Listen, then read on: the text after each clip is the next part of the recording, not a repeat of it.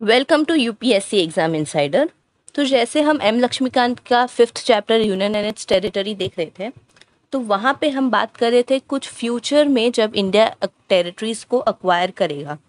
तब मैंने कहा था कि कुछ टेरिटरीज़ जो इंडिया ने 1947 के बाद जो अक्वायर करी थी, जो कि थी दादरा एंड नागर, हवेली, गोवा, दमन एंड दीव, पौंडीचेरी एंड सिक्किम तो उसके ऊपर सेपरेट वीडियो लाऊँगी। तो ये वीडियो उसके ऊपर है। तो एक टेरिटरी जो हम देखेंगे वो है पहली दादरा एंड नागर हवेली। तो ये पोर्चुगीज़ के अंदर थी। अब जब 1947 में हमें इंडिपेंडेंस मिला था तो वो ब्रिटिशर्स से मिला था। बट जो कुछ दूसरी जगह थी जैसे पोर्चुगीज़ थे फ्रेंच थे तो वो लोग से वो लोग नहीं गए थे। वो लोग तभी भी इंडिया में ही थे। तो ए, एक territory Dadra and Nagar Haveli Portuguese के अंदर थी अंडर थी।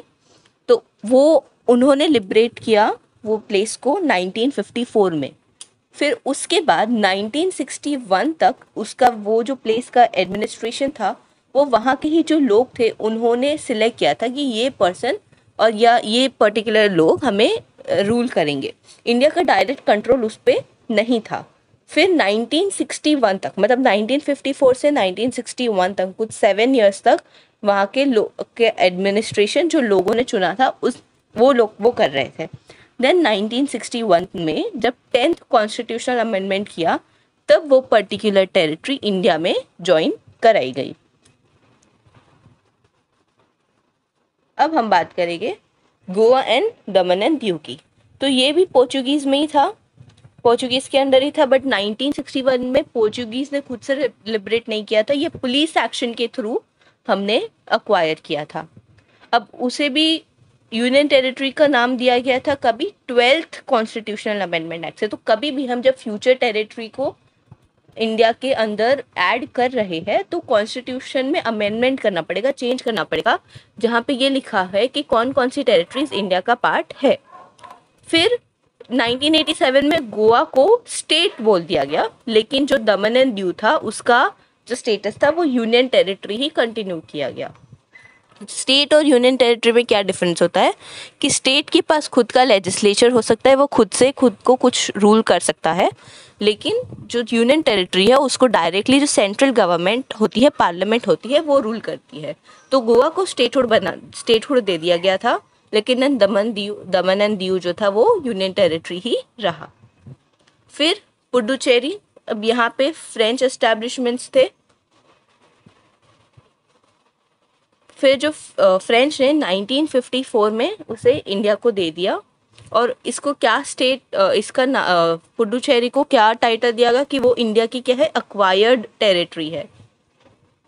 1962 तक उसे यूनियन टेरिटरी दे दिया गया जब फोर्टीन कॉन्स्टिट्यूशनल अमेंडमेंट हुआ। तो फोर्टीन कॉन्स्टिट्यूशनल अमेंडमेंट से पुडुचेरी को इंडिया का पार्ट बता दिया गया और फिर उसे कौन सा टाइटल दिया कि वो क्या है यूनियन टेरिटरी है। और कौन सा इस्टेब्लिशमेंट था उधर? फ्रेंच इस्टेब्लिशमेंट्स थे। फिर बात करें सिक्किम की तो सिक्किम जो है, वो एक प्रिंसली स्टेट था। वो किसी फ्रेंच या पोर्चुगीज रूलर के अंदर नहीं था। वहाँ पे एक लोकल रूलर थे, चोग्याल। तो सिक्किम को जब 1947 में इंडिया इंडिपेंडेंट हुआ तो सिक्किम को एक प्रोटेक्टोरेट स्टेट ऑफ़ इंडिया का टाइटल दिया गया। इसका मतलब कि वहाँ पे जो लोकल रूलर है चोग्याल, वो वही रहेगा, लेकिन इंडिया सिर्फ़ कुछ रिस्पॉन्सिबिलिटीज़ लेगा सिक्किम की, जैसे कि उसका defence external affairs and communications then thirty fifth constitutional amendment act से 1974 से